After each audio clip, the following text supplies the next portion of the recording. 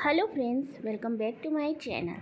तो फ्रेंड्स, जैसा कि मैंने पिछले वीडियो में बताया था कि मैं यहाँ पे विंटर गार्डन की जो प्रिपरेशन कर रही हूँ, उसका एक सीरीज़ बना रही हूँ। यानी कि मैं विंटर गार्डन के कौन कौन से प्लांट रेडी कर रही हूँ, कैसे रेडी कर रही हूँ, इन सब पे सेपरेट सेपरेट वीडियो बना के एक सीरीज़ बना रही हूँ, ताकि आप अगर किसी भी प्लांट के बारे में जानना चाहते हैं तो उस एक प्ले लिस्ट पर क्लिक करके और सारे ही विंटर गार्डन की तैयारी को देख सकते हैं। तो आज का जो वीडियो है, वो है डैलिया डैलिया जो कि विंटर का बहुत ही खूबसूरत फ्लावरिंग प्लांट है। स्टार्टिंग में मैंने जो आपको फ्लावर दिखाया, वो डहलिया का फ्लावर था और वो कुछ दिन पहले रेनी सीज़न में मेरे यहाँ पे खिला था। ये मेरे लास्ट ईयर के प्लांट्स हैं, जिनको मैंने बचा के रखा हुआ है, पर इनकी कंडीशन कुछ इस तरीके से हो जाती है और इन प्लांट्स को हमें फिर से कटिंग शटिंग करके और अच्छे से रेडी करना होता है ताकि अच्छी ग्रोथ कर पाए, एक अच्छा शेप ले पाए और अच्छे से इनमें फ्लावरिंग हो पाए। अभी भी आपने कुछ प्लांट्स पे बर्ड्स देखी तो ये बर्ड्स आपने देखा अनहेल्दी सी हैं। ये या तो ठीक से खिलेंगी नहीं या फिर थोड़े, छोटे से फ्लावर खिलेंगे। तो अगर इन प्लांट्स को हम ऐसे ही रहने देंगे तो इनमें उतनी अच्छी फ्लावरिंग नहीं होगी। इसलिए हमें इन्हें करना है रेडी तो मैं निकाल लेती हूँ अपने सारे ही प्लांट्स को थोड़ा बाहर। और देखिए, कुछ इस तरीके से इनकी ब्रांचेस आड़ी टेढ़ी सी हो गई हैं, जो कि यहाँ वहाँ लटक रही हैं, जो कि बिल्कुल भी अच्छे से नहीं चल पाएँगी, ये आगे चल के ख़राब ही हो जाएँगी। तो हमें इनमें से कटिंग लेके हमें इसके और भी प्लांट्स रेडी करने हैं। जो पुराने प्लांट्स हैं, उन्हें हमें अच्छे से फर्टिलाइज़र देना है और उनकी प्रूनिंग करनी है थोड़ी थोड़ी सी, ताकि इनमें अच्छी ग्रोथ हो और हेल्दी फ्लावर आ सके इस पर तो चले स्टार्ट करते हैं वीडियो को। यहाँ पे देखिए, ये मैंने कुछ प्लांट्स निकाल लिए हैं सामने। तो ये जो मुझे ठीक ठाक लग रहा था, इसे मैंने सपोर्ट दे के और एक स्टिक लगा के और उसे बाँध दिया है ताकि ये अच्छे से सीधा सीधा ग्रोथ कर सके और ऊपर से मैं इसकी पिंचिंग कर दूँगी। ये दूसरा वाला प्लांट देखिए आप, ये किस तरीके से इसके हर एक नोड से एक एक सेप प्लांट निकल आया है तो इन्हें हम कट करके और इन्हें सेपरेट सेपरेट प्लांट भी बना सकते हैं मल्टीप्लाई कर सकते हैं। और देखिए, कुछ इस तरीके से ब्रांचेस हो जाती हैं तो इन्हें रखना और संभालना थोड़ा मुश्किल हो जाता है, इसीलिए इनकी प्रूनिंग करके इन्हें एक शेप दिया जाता है। क्योंकि इनमें काफ़ी बड़े बड़े फ्लावर लगते हैं तो ब्रांचेज उससे भी झुक जाती हैं। देखिए, हर ब्रांच पे अभी भी कलियाँ हैं, लेकिन इन कलियों के लालच में नहीं पड़ना है अभी। इन्हें हटा देना है, ताकि हम इनसे अच्छी फ्लावरिंग ले पाएँ। तो मैं इनकी अब कटिंग कर ले रही हूँ और इन, इनमें से कुछ कटिंग्स अलग से रेडी करूँगी मैं, अलग से प्लांट्स बनाने की कोशिश करूँगी। और किस तरीके से मैं इनकी प्रूनिंग कर रही हूँ, वो सब मैं आपके साथ यहाँ पे शेयर कर रही हूँ। तो देखिए, सबसे पहले मैंने इसकी थोड़ी सी गुड़ाई करके और मिट्टी निकाल ली है। और डहलिया के प्लांट पे नीचे बल्ब भी होते हैं, ट्यूबर होते हैं या बल्ब कहिए तो उनकी गुड़ाई करते समय हमें थोड़ा सा ध्यान देना है कि वो डैमेज ना हो। इन्हें बल्ब से भी मल्टीप्लाई किया जाता है, लेकिन मेरे इन प्लांट्स में जो बल्ब थे, अभी वो ठीक से डेवलप नहीं हुए हैं। काफ़ी छोटे थे तो मैं उन्हें ज़्यादा छेड़खानी नहीं करूँगी। मैं इन्हें कटिंग से ही लगाऊँगी। तो देखिए, जिस नोड से, जहाँ से ये अलग से स्टेम निकल आई है तो इन्हें मैं कट करके सेपरेट सेपरेट इनकी कटिंग लगा लूँगी और सेपरेट सेपरेट इनके प्लांट बन जाएँगे।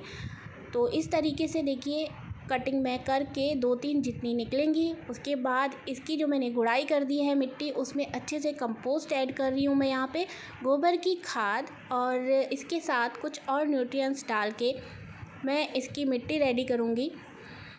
तो मिट्टी में गोबर की खाद के साथ मैंने क्या मिलाया है, वो मैं आपको आगे वीडियो में ज़रूर बताऊँगी। अभी हम लगा लेते हैं इसकी कटिंग तो देखिए, यहाँ पे काफ़ी सारी मैंने कटिंग्स निकाल ली हैं और कटिंग्स लगाने के लिए मैंने जो सॉइल मीडिया लिया है, यहाँ पे मैंने लिया है कोकोपीट और नॉर्मल सॉइल इन दोनों को हाफ़ हाफ़ मिक्स कर लिया है और इसमें साफ़ फंजी मैंने मिला लिया है।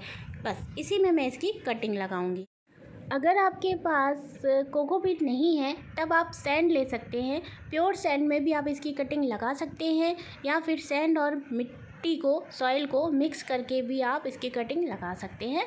बस मतलब इतना होता है कि हमें जो कटिंग के लिए सॉइल मीडिया लेना है, वो थोड़ा पोरस हो, सॉफ्ट हो, ताकि उसमें रूट्स इजीली डेवलप हो सके। तो देखिए, इस तरीके से सिर्फ़ सिंपली हमें ये लेना है। नोट्स है, देखिए नीचे नीचे नोड है, ये होना ज़रूरी है। और इन्हें बस मैं फंडीसाइड में डिप करके मतलब कि साफ़ फंडीसाइड नीचे से लगा के और इसे इस पर पुश कर दूँगी। एक हाथ से मुझे कटिंग लगाने में थोड़ी दिक्कत जाएगी, इसलिए मैं आपको यहाँ पे एक ही कटिंग लगा के दिखा रही हूँ और उसके बाद मैं लगा के आपको इसका दिखाऊँगी कि किस तरह से मैंने लगाया हुआ है। नीचे नीचे की सारी पत्तियाँ हमें हटा लेनी है और कुछ इस तरीके से देखिए, फंदी साइड लगा लेते हैं हम ताकि नीचे की जो स्टेम है वो किसी भी तरह के फंगस से बची रहे, कोशिश हम पूरी करते हैं किसी भी कटिंग को सक्सेस करने के लिए और इस तरह से पुश करके सिर्फ़ हमें इस तरह से हल्का सा दबा देना है या फिर आप पॉट को उठा के इस तरह से थोड़ा सा डब डब भी कर सकते हैं तो उससे क्या होता है, जो एयर बबल्स होते हैं वो ख़त्म हो जाते हैं और इस तरह से मैं और भी कटिंग्स लगा ले रही हूँ।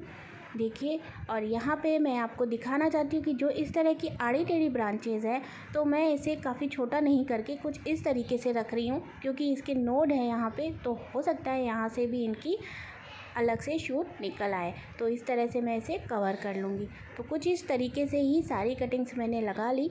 वीडियो थोड़ा सा लेंदी हो रहा है फ्रेंड्स क्योंकि इसमें पूरी डिटेल दी गई है। तो वीडियो को अगर आप पूरा देखेंगे तो आपको एक पूरी जानकारी मिलेगी। तो रिक्वेस्ट है आपसे कि वीडियो पूरा देखें, उसके बाद ही फॉलो करें। देखिए कटिंग लगाने के बाद इसकी जो कुछ बड़ी बड़ी पत्तियाँ हैं, वो मैंने हटा दी हैं। सारी पत्तियाँ मैंने नहीं हटाई हैं, कुछ पत्तियाँ रहने दी हैं, क्योंकि मुझे ऐसे लगता है कि कुछ पत्तियाँ रहने से कटिंग में ज़्यादा चांसेस होते हैं ग्रो होने के।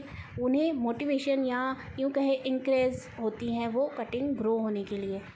तो यहाँ पे देखिए, मैंने इस तरह से दो तीन पॉट में कटिंग्स लगा के रख दी हैं। और अब मैं आपको बताऊँगी कि जो प्लांट हमने छोड़े हुए हैं, जिनमें से हमने कटिंग ली है, जो कि हमारे मेन प्लांट है, उन्हें किस तरीके से मैंने इन्हें फर्टिलाइज़ किया है। तो फ्रेंड्स जब भी हम स्टार्टिंग में किसी प्लांट की रूट प्रूनिंग या स्टेम प्रूनिंग करते हैं तो प्लांट थोड़ा सा शॉक में जाता है तो हमें बहुत ज़्यादा ज़रूरत नहीं होती है उन्हें फर्टिलाइज़र देने की। हमें ऐसा फर्टिलाइज़र देना है, जो कि सिर्फ़ उसकी ग्रोथ को बढ़ा सके। अभी हमें फ्लावरिंग के लिए कोई फर्टिलाइज़र नहीं देना है तो मैंने यहाँ पे गोबर की खाद के साथ सिर्फ़ ह्यूमिक एसिड मिलाया है? थोड़ा सा और थोड़ा सा मैंने इसमें मैग्नीशियम सल्फेट मिलाया है। ये सारी ही चीज़ें प्लांट की ग्रोथ को इम्प्रूव करने में हेल्प करते हैं। यहाँ पे मैं आपको छः दिन के बाद का रिज़ल्ट दिखा रही हूँ। इन प्लांट्स को सेमी शेड में रख दिया था मैंने और यहाँ पे देखिए जहाँ से मैंने कट किया हुआ है और वहाँ से ये देखिए दो दो ब्रांचेस निकली हैं और नीचे से भी इनमें कुछ आपको शूट दिख रही होंगी जो कि अभी छः दिन के अंदर की, का रिज़ल्ट है और भी बड़ी होंगी और ये स्टेम तो रह गई थी थोड़ी सी ड्राई हो गई है। इसे मैं हटा देती हूँ, मैंने तब हटाना भूल गई थी। देखिए, इसका जो मेन स्टेम होता है, वो कुछ इस तरह से पोल सा होता है, उसमें खाली सा होता है। इसलिए इसकी कटिंग पानी में मुझसे तो ग्रोथ नहीं होती है। अगर आपने कभी इसकी कटिंग पानी में ग्रो की है तो प्लीज़ मुझे बताइएगा, ज़रूर कमेंट करके। मैंने जब भी कोशिश की है पानी में इसकी कटिंग लगाने की तो वो गल जाती है। तो यहाँ पे देखिए, ये जो कटिंग्स हमने लगाई थी, ये भी ठीक ठाक से चल ही रही हैं अभी तक। कटिंग लगाने के तुरंत बाद तक तो समझ में नहीं आता है, अभी छः ही दिन हुए हैं। तो उम्मीद है ये कटिंग्स हमारी सक्सेस हो जाएँगी और जिन प्लांट्स की हमने प्रोनिंग की थी, उन पर आप रिज़ल्ट देख सकते हैं। तो कुछ इस तरीके से आप भी अपने डहलिया के प्लांट्स रेडी कर सकते हैं फ्रेंड्स उम्मीद है ये वीडियो आपको थोड़ा सा भी हेल्पफुल लगा होगा। वीडियो हेल्पफुल है तो वीडियो को लाइक करके और मेरे चैनल को सपोर्ट करने के लिए रेगुलर व्यू ज़रूर दें या फिर मेरे चैनल को अभी तक भी सब्सक्राइब नहीं किया है तो प्लीज़ सब्सक्राइब कर लें। यहाँ पे ये देखिए जो मैंने सिंगल सिंगल स्टैम लगाई हुई थी यहाँ पे, उनका भी अपडेट आपको दिखा रही हूँ और ये भी ठीक ठाक से चल रही हैं, मुरझाई नहीं है मतलब कि ये भी ग्रो हो जाएँगी। ओके।